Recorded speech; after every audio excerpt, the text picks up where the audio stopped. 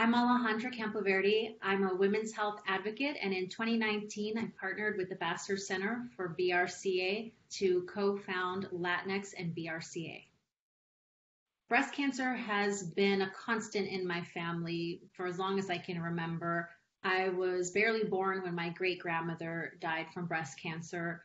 My grandmother, who was like my second mom, died when I was a teenager from breast cancer. My mom had breast cancer and thankfully survived when I was in my 20s. And in my 30s, two of my aunts had breast cancer. So this has been a drumbeat that we've had to deal with. It has been really, really difficult, painful, destructive. And I always kind of figured in the back of my mind, put two and two together, that this was something that I'd probably have to deal with in my life too. But it wasn't until 2013 when I found out that I was BRCA positive that you know it all came together and i understood that this was in many ways almost an inevitability for me. So i made the decision at that point that i was going to have a preventative double mastectomy in the future. I had talked to my doctor and we had decided the right time to do it based on when my mom developed breast cancer. So in 2018 i went forward and i had what i thought was a preventative double mastectomy. Turns out there was a plot twist, which was six days after my mastectomy, when the tissue that was routinely tested came back from pathology, we found out that I actually had unknowingly already been developing breast cancer. And so, because of the proactive action that I had taken, I basically, the way I kind of see it is I beat breast cancer before I even knew I had it, which was I didn't have to do any further treatment. And thankfully, because of the surgery I had already done, I was cancer free. So in 2013, I saw a news article and it was talking about this breast cancer gene, is what they were calling it. It was BRCA.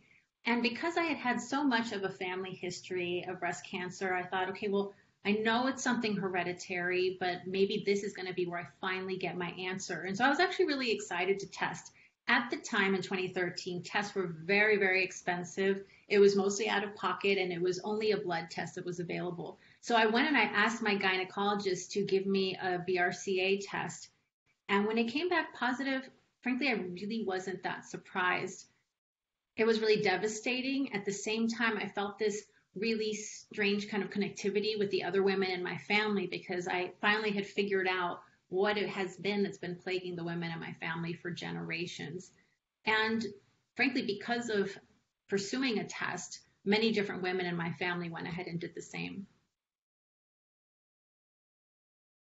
Well, on top of those two facts, Latinas are also more commonly diagnosed at advanced stages of breast cancer, and that's because of a lot of different socioeconomic factors, access to health care, lower mammogram rates. But one thing that a lot of folks don't realize is that Latinas also have the second highest prevalence of BRCA mutations after Ashkenazi Jews. And so this is a population that could really benefit from higher awareness, from more access to resources. But when I was going around and I was looking for resources as someone who had the mutation myself prior to my surgery, I couldn't find anything that was really targeted towards our community. And I also couldn't find Spanish language materials anywhere anywhere. As a Mexican American woman born and raised in LA, by an immigrant single mother where Spanish was our primary language in the home. And so I always kind of keep an eye out for inclusivity also in language.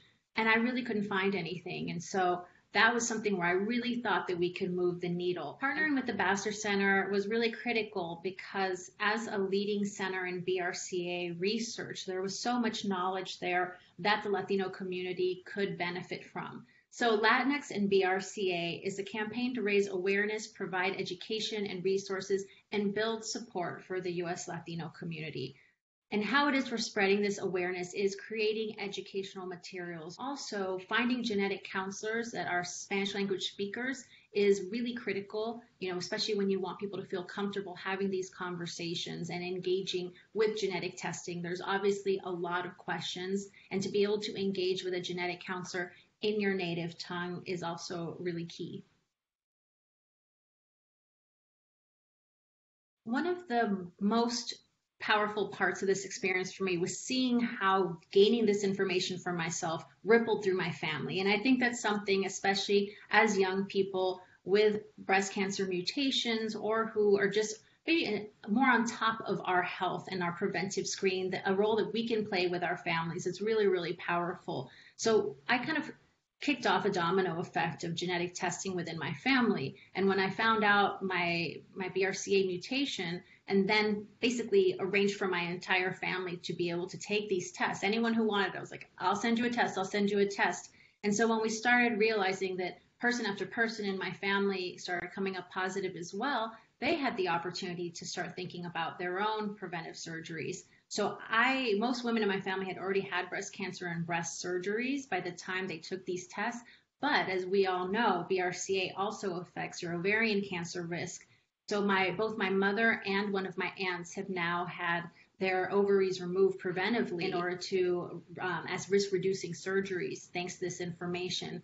When I think about the fact that they could have prevented ovarian cancer, which, as we know, is very hard to detect and very deadly. I mean, that also makes this whole experience um, a lot more meaningful. And I think that as young people in the Latino community, that is a, a role we can take in not only helping ourselves save our own lives, but potentially save the lives of our family. So I really want to encourage folks in our community to see this as not only preventive action that they can take, again, to advocate for themselves. But this is something for us to do for our abuelitas and our tias and everyone in our family.